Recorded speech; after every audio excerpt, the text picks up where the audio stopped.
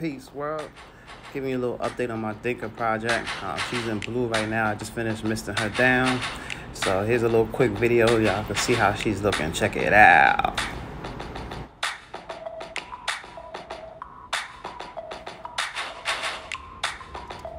She's in blue.